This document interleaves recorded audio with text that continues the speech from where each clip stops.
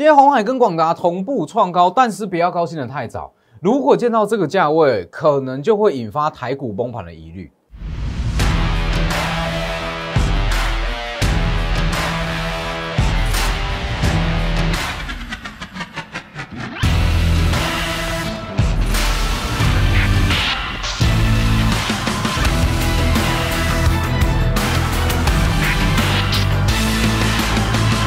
我赚气是因为我帮你赚到涨停。我是股市贵公子钟坤真。好帅，好帅哦，跑那么像。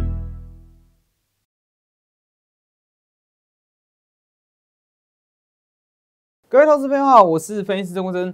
今天是十月二十二号，星期二，台股是小跌了七点，那成交量是小幅放大到了三千七百二十六亿。那当然说，今天整个盘面上的焦点，红海跟广达嘛，红海大涨，广达也大涨。那这两档到底会涨到什么价位？等一下会来告诉大家。那我就说现阶段的整个盘面的氛围，大家会有一种好像什么风雨欲来的感觉，有没有？包含说国际地缘政治的风险、地缘风险加上政治风险，觉得说好像在十一月会有什么样的风险？但是我告诉大家，其实你要去看台股，它到底有没有过热？因为大家都知道嘛，如果股票市场过热，它一定会有修正的风险哦，这个大家都懂。好，那我们怎么去看股票市场有没有过热？其实有一个很简单的标准，就是去看股价到底反映到什么样的程度哦。所以今天我会告诉大家，台积电、红海跟广达，如果你见到这个价位，其中一档哦，其中一档见到这样子的价位，你就要留意台股它有过热的风险。诶，那为什么没有联发科？等一下再一起来讲。来，我们看一下今天的台股。今天台股是开低走高，那小幅度的下跌了七点。其实说今天整体的盘面变化是并不大，因为台积电今天是跌了十块钱，那红海今天创高，广达也创高，所以基本上就是广达跟红海抵消了台积电的跌点哦。所以今天整体来讲，你会觉得说比较清淡一点点，这非常的合理。重点，你看哦，今天台股开低下来之后一路走高。尾盘还拉尾盘，重点是今天台股的开低走高。我们在早上八点半，全台湾唯一中式直播解盘，我就告诉大家了。哎，不夸张哦，每天早上八点半是 live 的哦。我如果说错话是没有反悔的余地哦，马上就给大家验证。来看一下我今天早上说什么。那你看十月二十二号大盘当日关键价，而且这是盲测哦。什么叫做盲测？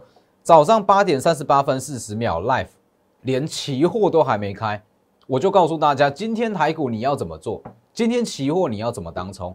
来看一下，如果有来到了二三三零零以下，可以做多；如果有来到了二三六五零以上，可以去放空。今天来我们看一下哦，二三三零零哦，看一下今天的走势图，我们切成五分钟线来看。来二三三零零，就在今天早上的几乎是最低点嘛？有没有？今天最低是来到了二三二六九。当你见到二三二六九，见到二三三零零以下，你下去做多，一路往上拉。今天最高收盘是收在了二三五三五，最高你可以赚到两百点，是吧？所以你看。你光是看这样盘前半小时的分析，而且是盲测，今天最高你可以赚两百点，一口大台你至少赚到四万块。所以这就是我跟大家强调的嘛，就是说，当你了解整个国际股市，那当你知道说现在市场的逻辑，现在市场到底在想什么，我们可以精准到什么程度？我们可以精准到台股还没开盘就告诉你说今天会怎么走，什么点位可以去买，什么点位可以去卖。恭喜大家都赚钱。好，所以如果说有兴趣啦，期货当中有兴趣的话，可以锁定我每天早上八点半的直播解盘，哦，都会每天都会帮大家更新一个新的价位。好，那我们再继续来看哦。好，那现阶段的台股，我觉得说目前是没有什么太大的风险。昨天有告诉大家，我觉得说台股在整个第四季至少可以见到两万四千六百点，我觉得问题不大。但是现在重点来了，假设说市场情绪真的已经过，就是说现现阶段的台股，说真的没有什么风险。那你如果说真的要有什么风险的话，一定就是市场过热了嘛。只要市场过热，它就会引发可能多杀多的卖压，可能说逢高调节的卖压、获利卖压等等的。好，那我告诉大家，大家要在进入正题之前，大家先有一个观念：正常的股票市场，它会去反映未来一年的获利哦，反映未来一年的获利都算可以接受的范围哦。啊，不论说华尔街还是说台股的内资法人，去反映一间公司在未来一年的预估获利，这都叫做合理的范围。所以等于是说，我们这样说，只要这一间公司它已经反映超过未来一年的预估获利，代表说市场有点过热了。好，那我们来看，所以我就说，你可以直接去看这张表格，来有没有？这张非常精准哦。我就告诉大家。这些价位，你你要怎么看它最基本的价格，就是必到的价格。只要是多头行情，它一定会到的价格，你就去把二零二四年的获利乘上二十倍，二十倍本益比。为什么是二十倍？因为很简单，台股常态例子就是二十倍本益比，所以用二十倍是最合理的。有没有来？你看哦，台积电过了嘛？因为台积电订单能见度高，它也不容易被砍单，所以台积电它的基期会从二零二五开始算。哦，等于是说台积电反映二零二五，等于其他股票去反映二零二四。哦，这个逻辑大家要知道。所以你看台积电有没有过一千了？红海即将到两百四，快要了啦。联发科过一千二，广达真的已经过了三百元。好，重点来喽，你看喽，假设台积电它开始去反映二零二，因为我觉得说台积电反映二零二五的获利，明年一年算是合理，因为它订单能见度高。那如果台积电已经开始去反映二零二六的获利了，我就觉得这个风险有一点大，然后热度有一点高。那台积电在二零二六预估大概是可以赚到六十块，六十块钱左右，六十块钱乘上二十倍的本益比，大概就是一千二，好一千两百元。所以我这么说，如果台积电它超过一千两百元，台股就会有崩盘的疑，也不是说崩盘啦，就是拉回幅度比较大的疑虑。哦，所以如果台积电见到一千二，我可能会先逢高出清多数的持股，哦，先获利一趟。那再来，我们来看红海。假设红海它反映到了二零二五，二零二五哦，如果见到二零二五的预估获利，二零二五目前预估是十五块，十五块乘上二十倍的本益比多少？三百，就是三百。所以我觉得说，如果说以红海来讲，红海到两百四机会非常非常大。哦，非常有机会。但是如果说从两两百四一路涨涨涨涨涨，在整个第四季真的见到了三百块，那我跟你讲，台股真的会有大幅拉回的疑虑。不不是说有什么大风险，或者说经济呃产业出状况，而是说市场就是有点反应过头了。哦，就是这样。那再来，我们先看广达。如果广达见到三百六啊，因为说广达在二零二五预估赚十八，那十八块我们一样给个二十倍本益比。二十倍本一比，这样乘起来是多少？三百六。所以我就说，今天广达继续在创高，最高来到三百二十二。那如果说在整个第四季，广达真的见到了，甚至说十月份、十一月份见到了三百六十元这样子的价位，你就要小心了，代表说市场有一点点在反应过头了哦。所以我们总结一下哦，我们要怎么去看说台股它会出现崩盘疑虑，有大幅度这种获利出清卖压的疑虑？只要符合其中一项条件，就要特别小心。第一，台积电见到一千二；第二，红海见到三百；第三，广达见到三百六。只要符合其中一项哦，哦，不用三项都符合哦，只要其中一档全值股有过热的疑虑，台股就可能会出现卖压哦。所以这些数字大家可以记下来。好，我知道你要问什么，哎，怎么没有联发科？哦，其实说这个逻辑是这样，因为联发科它是算 IC 设计。那 IC 设计的本益比本身就比较高，因为广达跟红海是 ODM，而 ODM 本益比本身就比较低。那台积电跟大盘，所以给二十倍合理。但是因为说联发科它是 IC 设计，所以它的合理本益比本来就比较高哦，所以我觉得说联发科可以先去把它忽略掉哦，不用看。所以总结来讲，很多人说啊，这个现阶段的台股有没有什么风险？我真的能够这样一直操作下去，一直赚到今年的第四季吗？有没有什么风险指标？我跟你讲，最好的风险指标就是全值股，就是刚刚讲的三大价位。只要这三大价位没有见到，我跟你讲，我们就是轻松去赚。在整个第四季行情里面，持续去赚，持续针对个股轮动，一档接着一档赚。哦，只要在见到这三大价位以前哦，我们就是尽量去赚，尽情去赚。市场不太会有过热的疑虑出现。好，所以我们再继续这样来看。所以你看，我就跟大家说嘛，既然都知道，就是说大盘看懂了，台股的大方向，你只要看懂大方向，哦，了解国际股市，掌握国际的市场的逻辑，你就会看懂台股。看懂台股大方向，你就先赢一半，胜率至少就六成了。加上个股的价值的掌握，胜率至少八成跑不掉。所以你看今天的红海有没有？今天我给会员的讯息，二零二四十月二十二号星期二，今天嘛，十二点零四分三十九秒，二三一七的红海继续创下波段新高，持股最高获利已经达到了三十趴，是不是？这是红海诶，红海诶，超大的全持股获利已经三十趴了。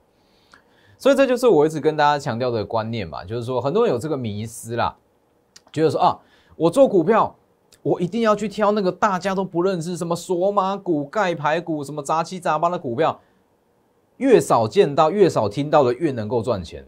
但是你看红海，我们也不过就是两两个月，两个月赚三十趴，你去看有什么投资商品可以达到这样子的报酬率？一百万你就赚个三十万，一千万你就赚个三百万，而且它是红海。红海代表什么？代表你可以闭着眼睛去重压，完全不用担心的股票，是吧？哦，这就是我讲的，就是说，其实获利机会很多啦，那就是看你怎么去挑选而已。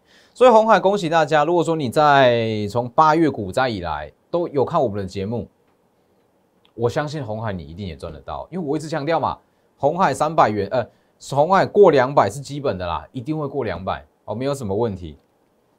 好，所以全持股简单看一下，台积电我的看法不变，到今年第四季季底，我觉得有机会见到一千二，但是现在不是一个好的买点，可以续报，但是现在要买，我觉得不是好买点。二十五色联发科只要反映到二零二五年的获利，上看一千四没有问题。那过了一千四，我觉得有持股可以先获利一趟，哦，代表说它风险稍微比较大了。哦，那二三一七的红海，我的看法也是一样，我就是说，在今年第四季就是慢慢推，慢慢推，至少可以见到两百四，哦，这个机会很大。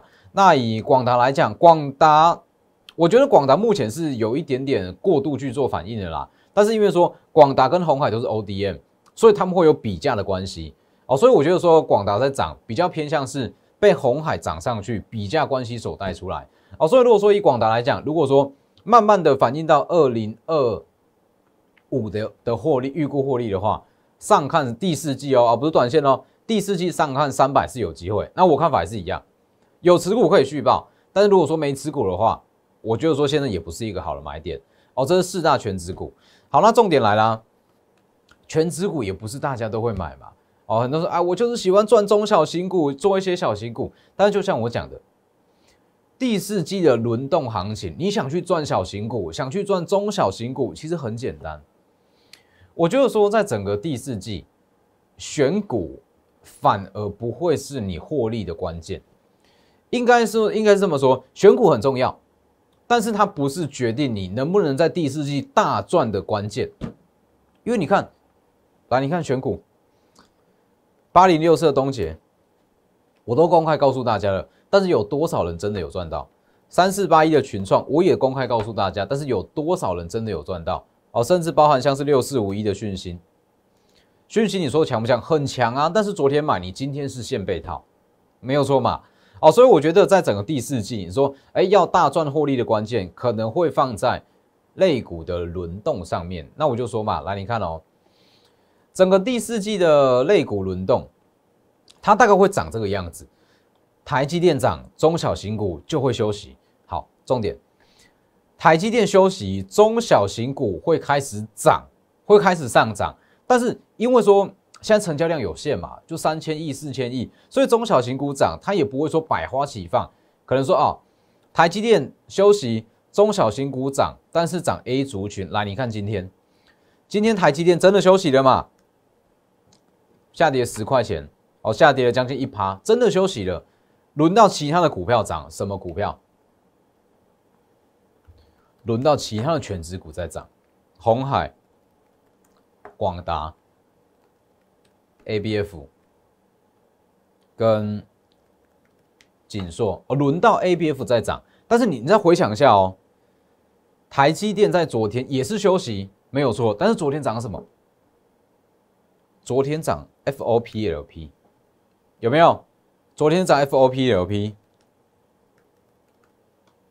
新科、友威科，或是说一八零二的台波，哦是涨这一群。那台积今天也休息，但是马上又轮到别的族群族群过去，所以这就是我一直跟大家强调的，整个第四季的行情其实非常的好，但是你要抓到它的这个这个节奏，轮动的节奏。如果你抓不到轮动节奏，就会有一种这怎怎么讲？你就会有这种感觉，行情明明很好，股票明明就百花齐放，老师讲的股票每一档都在涨，但是为什么我就赚不到？看得到吃不到？哎，我知道它会涨啊，但是为什么我就赚不到？有一种隔靴搔痒的感觉。我知道我那里很痒，但是我就是抓不到，是不是？哎，我知道新科会涨，我知道东姐也会涨，讲很久了，但是为什么就赚不到？其实就是这样嘛。就是一个轮动的模式哦，所以我就是说，在这个时间，你就掌握这个逻辑啊。台积电涨就买小型股，小型股在涨，你你想去赚台积电，你就去买台积电哦。就台积电涨，小型股休息。那台积电涨，中小型股休息嘛？那台积电休息，新的一轮又会变成中小型股涨，但是去涨 B 族群哦，它就会呈现这样子轮回的关系。所以这就是为什么说近期我收到非常多的讯息，都是这样跟我讲。哎，老师，我最近买什么套什么？看到 A 涨上去，我去买 A，明天就涨 B；我去买 B，明天就涨台积电。我买台积电，明天又涨回到 A 族群，永远追不到啦。所以我才跟大家说嘛，你要破解这样子的盘势，其实很简单，永远领先市场一步，就领先市场这么一小步就好。领先一步，人说领先一步很简单，用讲的很简单啊。提前布局谁不会讲啊？减肥少吃多运动谁不会讲啊？是吧？但是具体的做法，我就跟大家说，同产业里面看 A 买 B，或是看上游买下游，国际重大事件提前去卡位，就这三大原则。我跟你讲，掌握这三大原则，你再把这个类股轮动的这这张图去把它记下来，第四季赚不完啦，真的赚不完。来，我们这样看了，而且这个东西是可以交叉应用的哦，哦，是可以互相交叉去做应用。我们就这样讲嘛。上礼拜台积电的法说会，哦，法说会召开了。好，法说会大家也都知道嘛。哎，台积电法说会会释放出利多讯息，猜测财报都会不错，大家都知道，所以我们就提前去布局了台积电啊，是不是？这个就叫做国际重大事件。啊，不是说什么买一年、买半年、买一季、买一个月都不是，都不用，不用等这么久。台积电我们就是买在这一天，上周四就上周四买完，隔一天跳空上去涨六趴。你要长线持有，你要短线操作都可以，随便卖都赚钱的。我们买这么低，一零三零的成本，随便卖，今天卖，今天卖最低点都还是赚的啊。这就是国际重大事件。那我就跟大家讲嘛，就是说，你了解产业，回到实战操作上，我们真的能够领先布局。说啊，台积电，我当时有跟大家说，台积电如果在法说会上面释放出 CoWAS 跟先进封装的利多，那最大的受惠者会是 FOPLP。很简单，这个逻辑我跟大家讲嘛。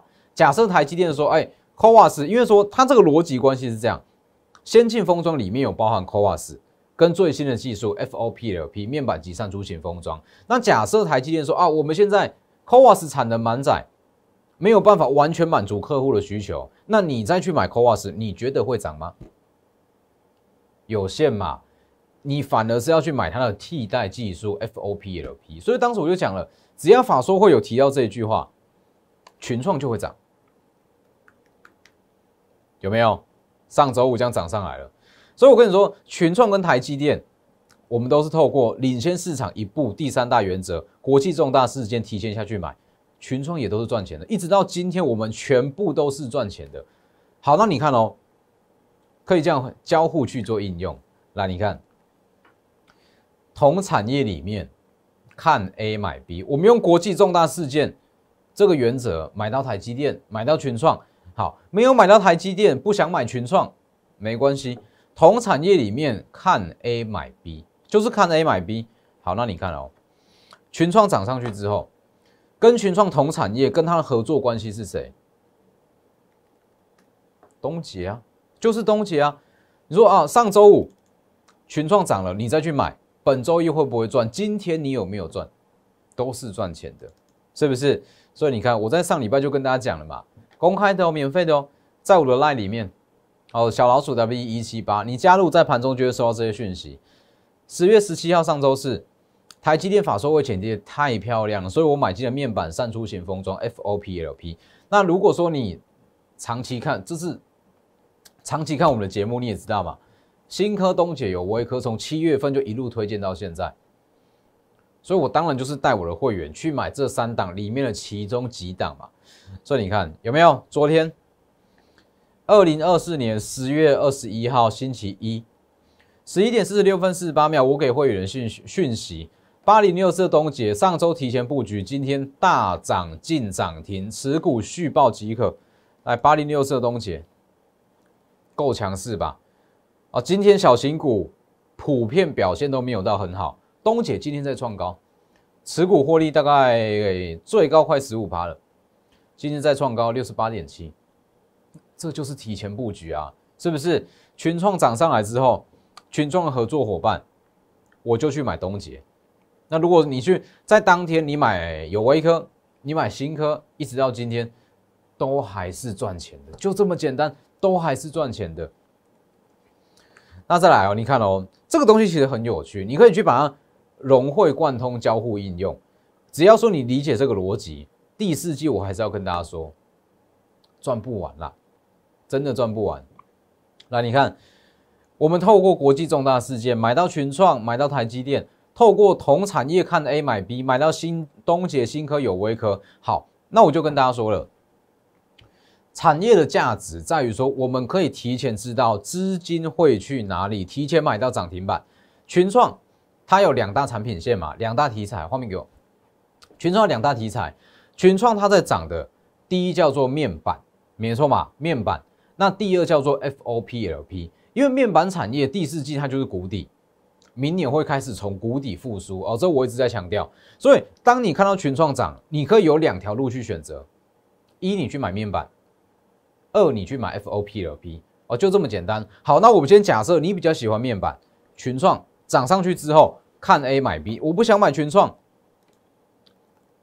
能不能买友达？也可以啊，今天友达也是大涨啊，是不是？今天友达一样是大涨，买在上周五，买在昨天，今天你都是赚钱的啊！我就不喜欢面板，我觉得面板很牛，没关系啊，我就说嘛，如果说哦，你看好面板这一群，面板的驱动 IC，我们就可以应用第二个原则，看上游买下游。面板驱动 IC，它比较偏向是面板的上游啦，哦，上游零组件。所以你看哦，面板涨了，我们去买它上游的面板驱动 IC。天域有没有涨？上周五买，今天有没有赚？都是赚钱的。三五九二的瑞鼎是不是驱动 IC？今天有没有涨？今天创高啦。今天也是创了波段新高，细创昨天也是创高，是吧？敦泰今天也是小幅度的创高。如果说我们把这个定位哦，都定在上礼拜五群创大涨的当天，上礼拜五买，今天有没有赚？今天都是赚钱的。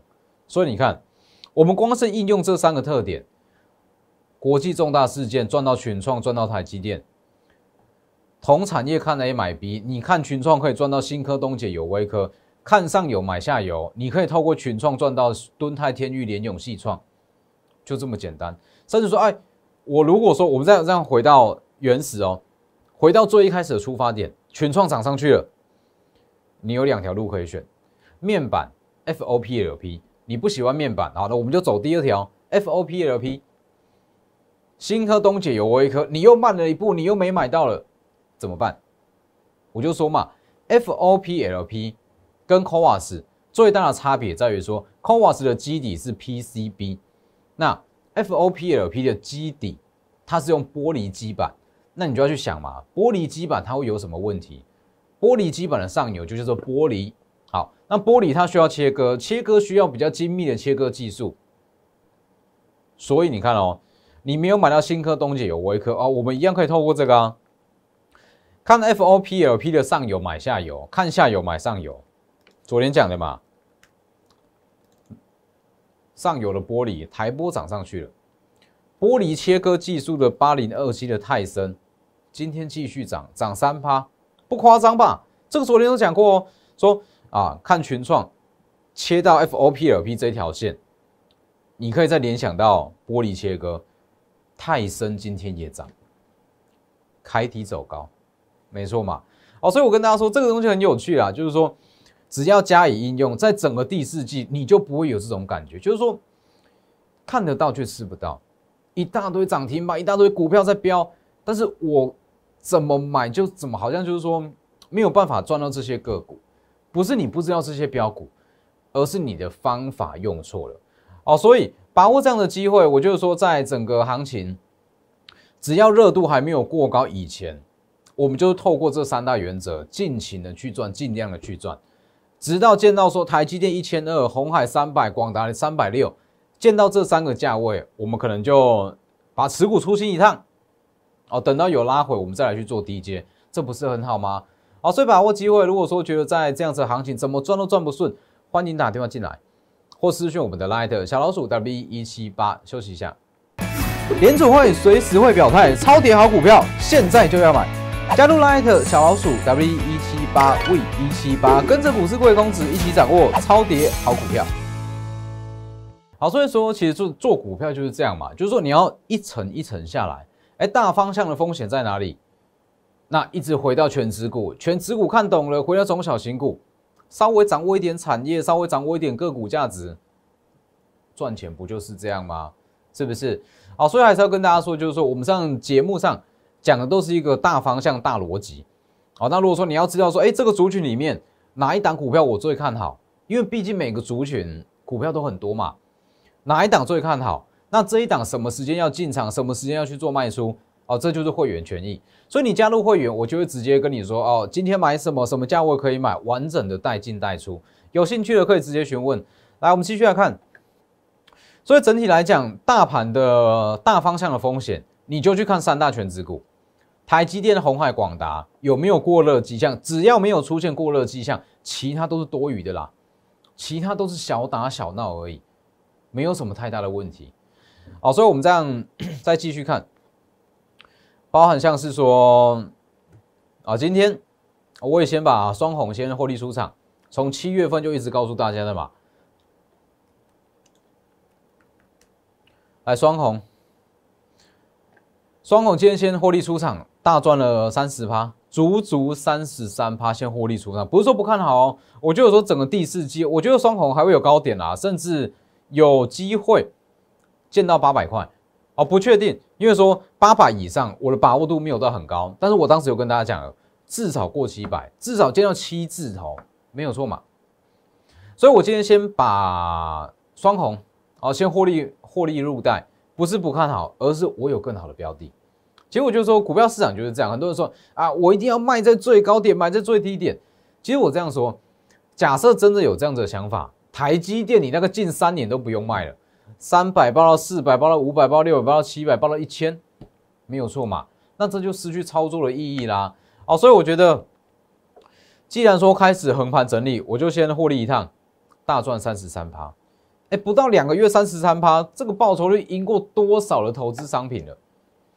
还有包含像是旗红也是，今天我也先获利出场，看一下，二零二四十月十二星期二十点五十九分零一秒，一样是我给会员讯息，三一线旗红获利出去所有持股，获利达二十趴以上。那当时我就跟大家讲，双红比起旗红，它的 EPS 预估 EPS 大概高了两块钱左右，所以股价会稍微比较高，这非常的合理哦。所以今天的旗红我也持续看好，但是我就先获利出场一趟。那在整个 GB 两百产业里面，其实你看哦，整个类股真的就像我讲的，台积电休息，轮到中小型股，但是中小型股它延续性又不强，可能说今天涨 A，下一次的轮回它就涨 B，再下一次就变涨 C，所以你看今天以 GB 两百里面又变成涨川股了嘛，是不是？哦，所以我就跟大家说，这些都看好了，而这些都看好，只是说你要去抓到这个类股轮动的节奏。那以川股来讲，川股就是说到年底前上开一千四没有什么问题哦，目前的位阶还很低，跟八九九六的高利哦也是一样，小幅度的横盘整理。如果说以 GB 两百来讲，高利目前的位阶也是相当低哦，这个都可以持续下来做留意，没有太大问题。那顺带一提，因为我就跟大家说，其实说台积电的先进封装里面有两块嘛，FOPLP 跟传统 CoWoS。那 FOPLP 里面，新科、东杰、有微科，通通都是大赚。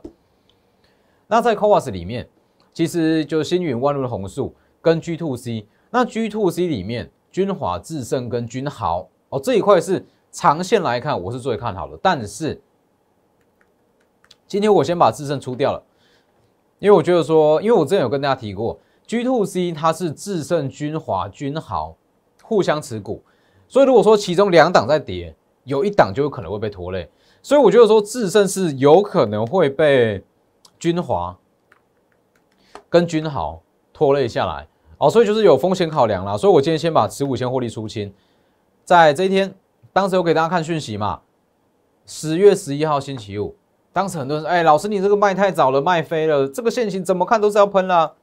来，你看，你看这个线型哦，不错吧？这个线型怎么看都是要喷的，为什么我卖在今天？为什么我卖在当天？我先获利一半，因为我就说嘛，因为均好在跌，均华均华在跌，它可能会被拖累，所以我先选择卖一半，先获利出清。那你再看，来继续看，稍微创高一下，今天就往下拉了。好，所以我就说线型长线看好，但是说短线线型不太好，先获利一半。第呃第二笔获利，第二笔。没有赚钱哦，有赚就有赚，没有赚停损。我就告诉大家，第二笔我们没赚钱，一半的一半的持股，这一天卖是获利的，今天卖是小赔哦，是小幅度的停损，这就是股票市场嘛，是不是？觉得说哎风险比较高，或是说有什么样的更好的标的，我们就把资金转过去啊，就这么简单哦。所以其实说在整个第四季就掌握整个类股的轮动，不用提前太多。提前市场一步，我们就能轻松赚。那如果说你可以运运用这三大原则，不要说一步啦，我们可以领先市场一步一步一步，好几步这样领先下去。所以，我们再继续看一下。好，所以 G two C 短线上我们已经出清持股了。哦，智胜、君华、君豪之后再找机会进场。那其实就像我讲的，如果说当整个 c o a 石头开始在整理，我们就可以去留意。特化，哦，特化我目前也还没进场，但是它在我的观察名单里面。永光、三晃、中华化、五二三四的达新材料，哦，这个在我的观察名单里面。如果说哎筹码稍微整理一下，有机会转强，我就会进场去做切入。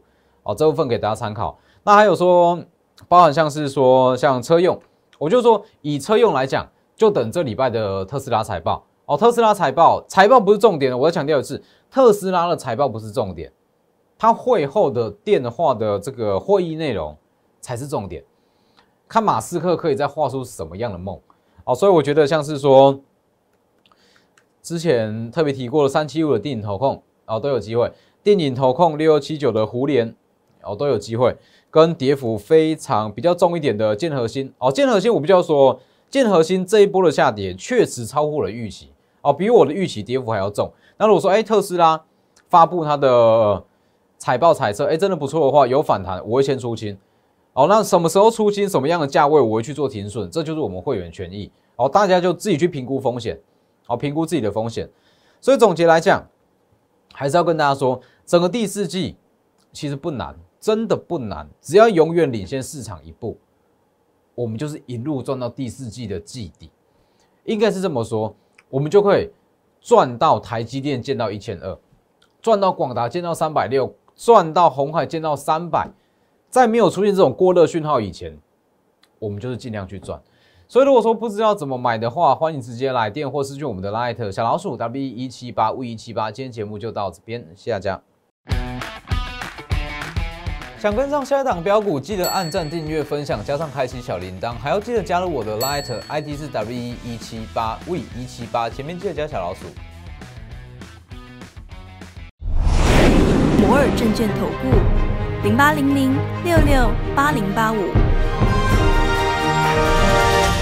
本公司与所推介分析之个别有价证券无不当之财务利益关系。